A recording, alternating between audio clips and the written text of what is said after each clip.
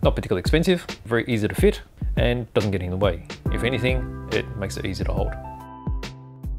Hello, this is BJ from Hearns Hobbies, and I'm going to be talking about a very small accessory, which I think is a very useful accessory for airbrushing.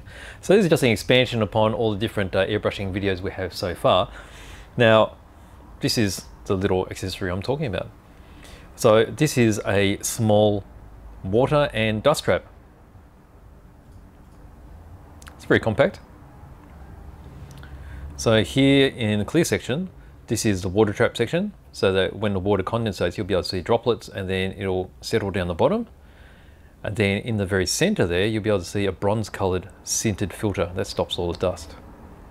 And once this gets full of water, you just press this valve up and that'll release the water out. So simple little device like that. Now I'll show you where you use this particular device and how it's going to help with your airbrushing. Okay, so here we have our regular airbrush here. It's just a uh, gravity feed one, which we commonly use just for um, example. And then we have our hose. So usually, if you've got a compressor like this, tank compressors usually do come with a regulator which already has a built-in water trap and air filter. So basically it looks like a big version of this. Now most of the time this will be fine. So what it's doing is it's collecting any water that's been uh, condensation in the tank and it'll deposit it here, pick up any dust that's traveling through and then all the air that comes out of here will be clean. So we would usually connect up our hose like this.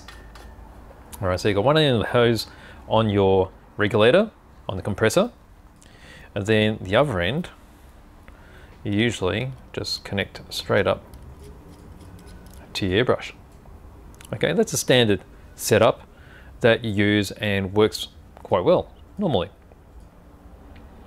But occasionally you may find that if you use your airbrush and compressor for a long period of time, you may have this unusual pop of water that just comes out the tip. And when the water comes out of the tip, it actually gives a, a very poor and damaging result to whatever you're painting. Now that happens simply because with all your hose here, you have the water trapped coming straight out of, um, all the air coming straight out of your um, compressor. But as it's traveling through here, there's a chance here that the warm air, because it's being warmed by the compressor, is probably going to condensate within the hose.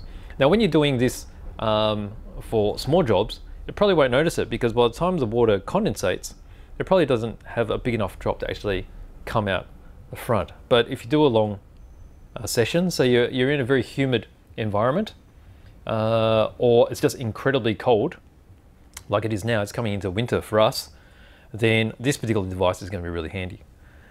Okay, so if you can imagine, you've been using this for a few hours, the water will be trapped along here, it'll get into a, a little, um, a little, I guess, ball of water, and then eventually they'll travel all the way up here, mix with your paint, and come out the end and give you this terrible splatter. And particularly if you're using non-water um, compatible paints like uh, lacquers or uh, oil-based enamels, it's going to destroy the paintwork because it's going to separate from the actual paint. Now the simple thing is when you use these, it's really simple just to keep it on your airbrush setup uh, and use it all the time. And it gives you great peace of mind. So here we go. All you have to do is disconnect the hose from the airbrush itself and that filter is just going to sit between them.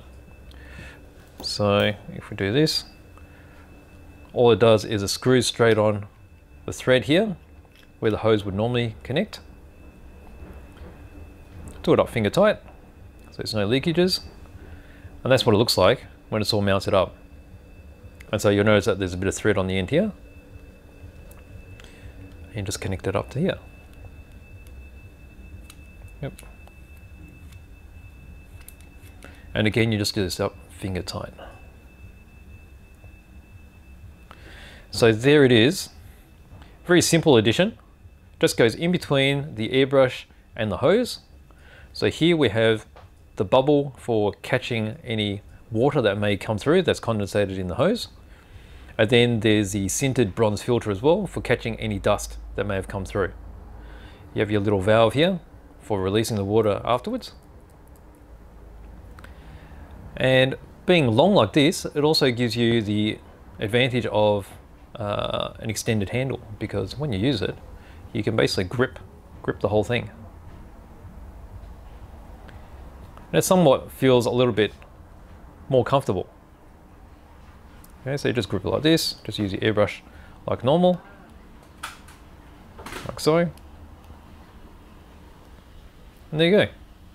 So this particular little device, little small uh, final filter, uh, is definitely recommended. If you do a lot of work, uh, I think, uh, such as Warwick, he uses the airbrush for a whole day at a time. This would be very handy for um, alleviating any moisture that may go through. And also if you just use it in very humid conditions or very cold conditions. Not particularly expensive. As you can see, very easy to fit and doesn't get in the way. If anything, it makes it easy to hold. So there you go, that's my little tutorial on the uh, inline uh, water and dust filter. Just mounts on the bottom of the airbrush and stops all the condensation coming out of the, uh, the hose.